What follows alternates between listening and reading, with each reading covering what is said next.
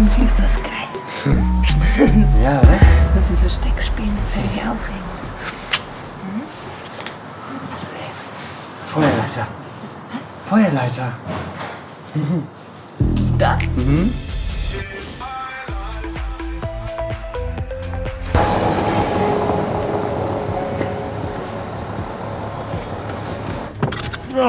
Schatz. Hm? Ganz kurz, ne? Guck das mal an. Das ist unser.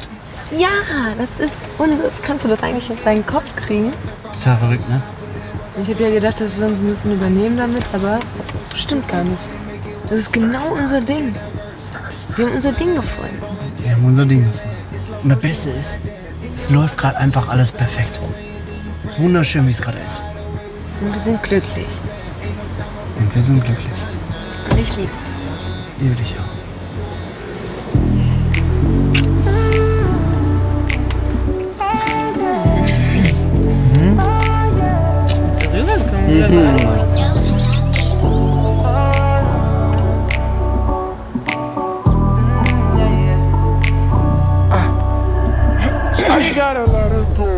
Sorry, die Störung. Ähm, aber es kommt gleich eine große Reisegruppe. Ich glaube nicht, dass ihr Bock auf so viele Zuschauer habt, oder? Äh, danke für die Info. Gern geschehen. Wiedersehen. Ja. äh, aber willst du nicht noch die Karre wegstellen, wenn die Reisegruppe kommt? So unser. Natürlich bleibt das Fahrzeug hier stehen. Seit Marc und ich unser Leben geändert haben, läuft's wieder richtig gut zwischen uns. Ich weiß auch nicht, das Hostel, die neuen Aufgaben, das neue Leben. Und irgendwie macht mich das richtig an. Ey, Maike hat doch gesagt, Marc muss hier irgendwo sein. Vielleicht können wir ja endlich da weitermachen, wo wir vorhin aufgehört haben. So, Alona, dann sag ich mal willkommen auf der ersten Etage. Ne? Sehr Hi. lieb von dir, dass du mir hilfst. Ja, klar, kein Problem. Das ist hier bei uns im Hostel als Inklu. Alles inklusive. So ist das also. Ja. Hi. Hi. Ähm, gut, ich zeig dir mal eben das Zimmer. Ja, das ist gerne. hier einfach den Flur rechts runter. So. Dann komm gerne einfach mal mit. Ja. So, da wären wir dann auch schon. Danke. Dann muss ich einmal. So. Ohne dich hätte ich es nicht hergefunden. Aber Dafür bin ich ja der Geschäftsführer, ne? Dann zeig ich dir ja alles. Soll ich dir mein Zimmer zeigen? Nee, das kenne ich ja schon. Aber nicht mit mir. Ach so. Ja? Ähm, Kannst gerne mit reinkommen. ich bin, ja, also ich bin verheiratet. Du bist verheiratet. Fängst du an zu stottern?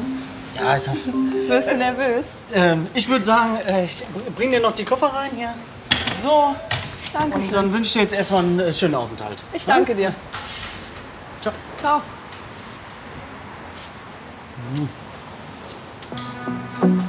Habe ich das gerade richtig gehört? Hat die sich Marc gerade angeboten? Ja gut, ne? Marc ist ja auch ein attraktiver Mann.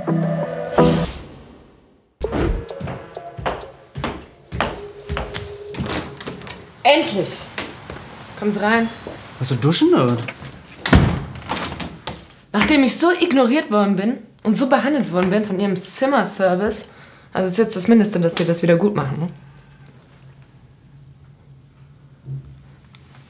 Ach so. Ich möchte mich natürlich in aller Höflichkeit bei Ihnen entschuldigen. Unser Four Friends Hotel ist eigentlich dafür bekannt, dass es ähm, schon den Kunden alles möglich macht, was. Äh, Das ist mir egal. Was können Sie mir geben? Eine Entschuldigung reicht mir nicht. ich, könnte Ihnen eine ausgiebige Einweisung ins, äh, in, ins Bett, äh, ins Boxspringbett. Sie haben gar kein Boxspringbett. Aber Sie können es mir trotzdem zeigen. Dann, da ist das Gerät.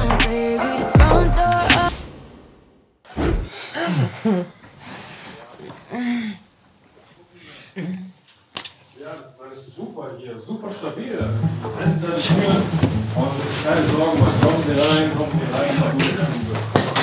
Genau. Alles super, ne? Sie haben sogar hier zwei Etagen. Alles richtig clean und 1A. Ähm, entschuldigen Sie, wie sieht's denn hier aus? Äh, Wahrscheinlich hat das Housekeeping einen Fehler gemacht. Das Zimmer wurde mir nämlich als bezugsfertig angezeigt. Äh, wir machen so, äh, wir gehen raus. Ich schaue mal kurz nach dem Housekeeping. Okay. Ähm, ja, Ihr Wagen steht doch da vorne. Wahrscheinlich ist sie nicht fertig geworden. Ne? Nach Ihnen. Ich schaue nach, nach dem Housekeeping. Ähm, sie warten auf mich da vorne am besten und äh, Sie bekommen sofort ein neues Zimmer. Ne? Ich bin sofort zurück. Weg, zieh dich an, zieh dich an, zieh dich an. Zieh dich was an!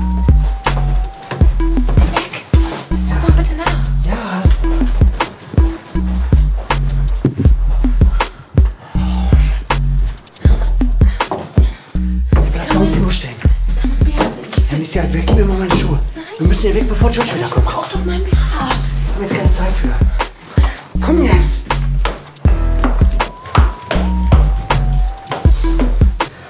Wir gehen erstmal hinter die Mauer. Alles gut, alles gut. Machen wir jetzt. Irgendwie ist das geil. Ja, oder? Müssen Versteck spielen, das ist irgendwie aufregend. Feuerleiter. Feuerleiter. Das. Okay.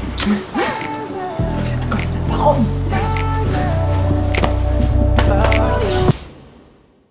Boah, ey, wir hatten gerade so geilen Sex auf der Feuertreppe. Ich fühle mich wie 15, ey. Ja, war cool, oder? Voll aufregend. Aber ich hoffe, uns hat keiner gesehen. Quatsch. Und außerdem ist unser Hostel unsere Regel. Wir können machen, was wir wollen.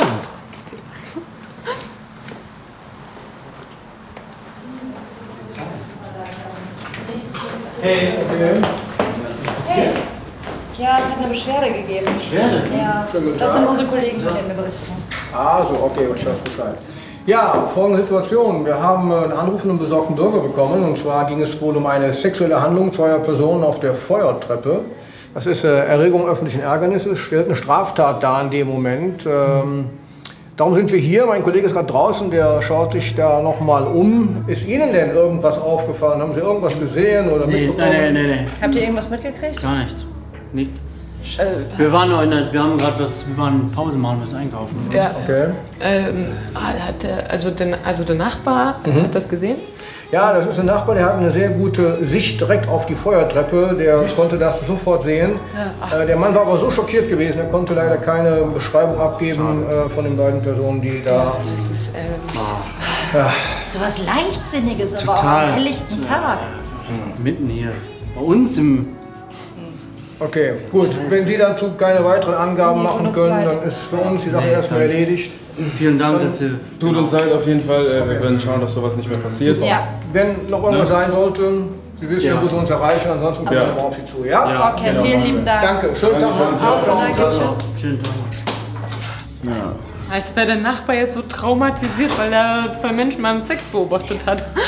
Weiß ja nicht, wer da Sex hatte, ne? Voll doof, ey. Auf jeden Fall ein komischer Tag, ey. Ich hatte erst ein Zimmer, was nicht so aufgeräumt war. Da, äh, Im Zimmer nicht aufgeräumt? Warum denn im Zimmer nicht ich aufgeräumt? wollte ein, einchecken und dann war das Bett irgendwie nicht gemacht oder irgendwie total durcheinander und jetzt Sex an der Feuertreppe, keine Ahnung. Aber um das Zimmer können wir uns ja kümmern. Ja, genau. Wir machen, pass auf, wir machen das Zimmer sauber. Ich kümmere mich auch ins Housekeeping, weil ich weiß, das ist eigentlich dein Job, aber ich mach das. Eigentlich aber auch total ungünstig, weil ich muss mit dir noch ein paar Mails durchgehen. Da gab es irgendwie von der Druckerei Probleme mit irgendwie dem Logo. Keine Ahnung, ob was an dem Artwork geändert wurde. Dann mache ich das einfach alleine. Dann Nee, nee, nee, nee, lass mal, ich mach das, ich mach das mit dem Zimmer. Ich war ja vorhin eh schon oben. Ja. Ja, George weiß noch, welches Zimmer das war. genau. Cool. Kann, Marc kann dir auch helfen. Nein, ich mach das alleine, alles gut. Alles gut, wir sehen uns später. Kommst du mal einmal, Jule? Ich gucke mich mal um. Vielleicht sehe ich ja was. Ja, cool. Hier, Jule, pass auf. Ähm, wegen den Flyern, die du... Trägst du gar kein BH? Nein? Muss ich jetzt nur, weil ich eine Frau bin, ein BH tragen oder was? Nee. Die Frauen in Paris tragen auch kein BH. Das ist modern, Mike. Müsste sich mal ein bisschen anpassen. Fühlt sich gut an? Ja. Vielleicht sollte ich das auch mal probieren. Sexy. Ähm, Verdammt. Was, wenn George oder das Housekeeping mein BH findet? Dann fliegen Marc und ich doch safe auf. Und dann? Mike und George werden alles andere als begeistert sein, vor allem weil die Polizei wegen uns da war. Deswegen verstehe ich. Hey, Jule! Ah, gut, dass ich dich sehe. Sag mal, hat Marc jetzt noch mal irgendwen gesehen wegen dieser Feuertreppengeschichte da? Ich finde das so krass, auch mit diesem zerwühlten Bett und sowas. Ich weiß auch nicht, ich muss da mit dem Housekeeping echt noch mal ein ernstes Wörtchen reden. Ich meine, das geht doch nicht. Da kommen Gäste hier hin, die erwarten ein sauberes Zimmer und dann ist das ganze Bett zerwühlt und sowas. Also irgendwie macht mir das auch Sorge, oder? Keine Ahnung, also. Ich finde es auch so ein bisschen gruselig. Also, dass es alles so nah aufeinander passiert. Nicht, dass man hier irgendwie. Ja, Einbrecher hat oder sowas. Das wäre natürlich dann auch echt so eine Nummer, die nicht. Mädels, guck mal, was das Housekeeping gefunden hat. Oh, Da hat jemand mächtigen Spaß gehabt. Boah, also, George, dass du dich mal direkt äh, wegschmeißen. Hey, Was, warum wegschmeißen? Lass Ja, das mal hier. nicht, dass da irgendwelche Flüssigkeiten drauf sind. Das ist doch Nee. Nee, ist nicht. Ich meine, ich pack das in die Lost and Found Box, guck, wer das Zimmer gebucht hat und lass das zukommen. Das auf jeden Nein, Fall auf korrekt. gar keinen Fall. Nein, das kannst du doch der, der Frau nicht antun. Warum denn? So, Das ist kannst doch du nur ein BH. Ja. Ja, deswegen ja. Vielleicht denkt die sich so, um Gottes Willen, dann ruft mich äh, irgendwer Fremdes an und spricht mich darauf an und dann will sie den lieber weghaben. Ich meine, wenn, wenn sie den wirklich haben will, ja, dann wird sie schon von alleine kommen. Dann wird sie schon danach fragen. Ja, okay. Pack das mal in die Lost and Found Box und dann schauen wir weiter. George? Warte, ich komm mit. Alles okay? Oh mein Gott, das war gerade so knapp. Aber es ist noch mal gut gegangen.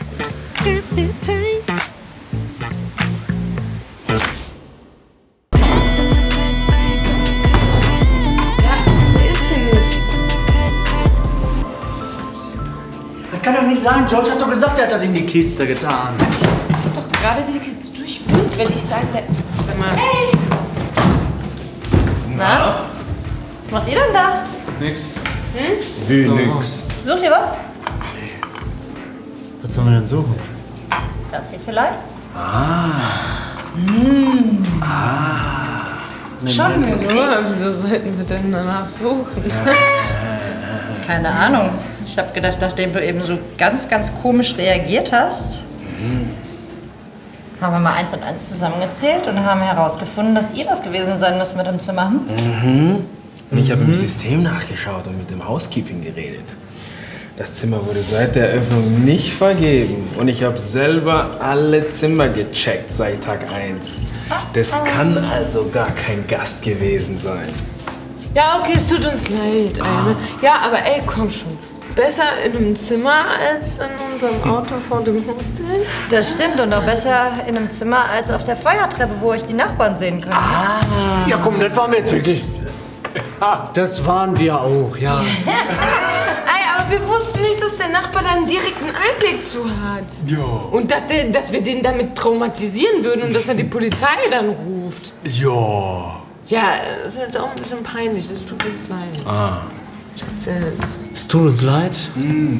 Und äh, wenn ihr jetzt ge das Gefühl habt, dass das so nicht mehr funktioniert auf beruflicher Ebene, dann können wir das verstehen, weil das super unprofessionell war. Und ja. Leute, ihr könnt so viel sexy Time machen, wie ihr wollt. Das ist mir egal. Und alles auseinandernehmen. Das nächste Mal nur ein bisschen diskreter. Keiner von uns hier hat Bock auf die Bullen. Nope. Und nein, wir bereuen es nicht, mit euch zusammen hier das Hostel zu führen. Können wir so verbleiben? Natürlich. Doch keinen Bock auf Freiheit. Sam?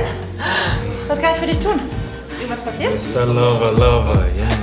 Was soll ich dir sagen? Als ihr da reingeplatzt seid, dann sta da stand ich nackig im Schrank. Digga, ein Schritt weiter nach vorne. Einen Schritt weiter nach vorne und jetzt mal ein Löwe. Hey, wir brauchen uns doch. Ich mein. Hey, Rico, geh einfach du bitte. bist doch meine Queen. Rico. Ich hab dir alles bezahlt.